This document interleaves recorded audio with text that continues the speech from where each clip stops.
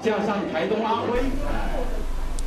记者会上大力宣传，与台东县各机关共同行销，主要推动者水土保持局台东分局在去年就看中了红梨的市场，也希望借由特色行销，帮农民找出一片天。水保局台东分局长王志辉侃侃而谈，在最近最火红的话题就是红梨，而台东红梨这个名词也是他想出来，希望要与台东结合，让人一想到红梨就想到是台东的代名词。呃，我们都知道台东哦，概分为三个轴线，就是纵谷线、哦东海岸线，还有所谓的南回线。可是大家都发现到说，纵谷线的产业，尤其稻米产业非常的夯，东海岸观光旅游非常的盛行。可是到南回之后，我们发现没有特别的产业，观光也发展不起来。所以长期以来，南回哦算是台东发展最趋哎最缓的一个地方。八八风灾之后啊，哈，很多地方受损，水保局投入了很多的经费去进行改善，但是呢，并没有把人给留下来，许多年轻人还是往外去移动了。那这几年，因为国人越来越重视所谓的这个养生健康这一块，那大家也突然间发现到说，原来国外认为的宝贝啊，这个所谓红宝石，在我们台东就有，而且我们的红梨呀，哈，南回的红梨，更是我们台湾的原生种。它的营养成分比所谓国外的藜麦营养成分更高，在这种情况之下，就有一些农民试着把这些以往只是装饰用、酿酒用的红梨开始拿来生产。可是呢，大家都知道，农民即使会生产，不会行销的情况之下，老实讲，卖不了好价钱，也不知道卖到哪里去。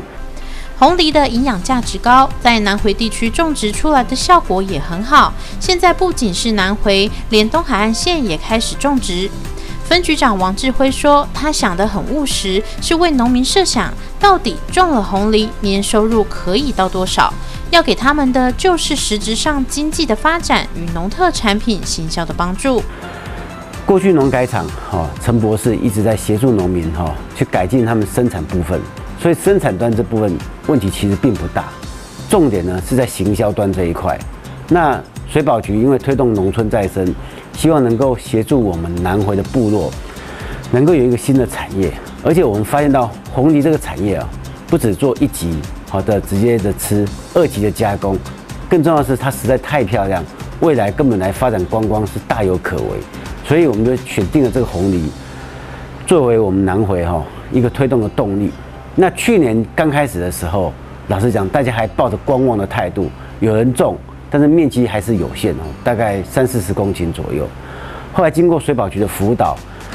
结合农粮署、农改场、县农会，还有我们那个县政府合作之后，那大家就开始注意到红梨这一块，那整个这个市场上哈也就开始认同，也愿意来去这个吃这个红梨。不仅成功打出了红梨市场，也结合了二三级产业。农民看见未来，不再担心自己种植的红梨米没有人买。现在通路有了，行销也有，透过电子商务，不管在哪里都可以了解红梨的故事，还有怎么买。那农民发现到说，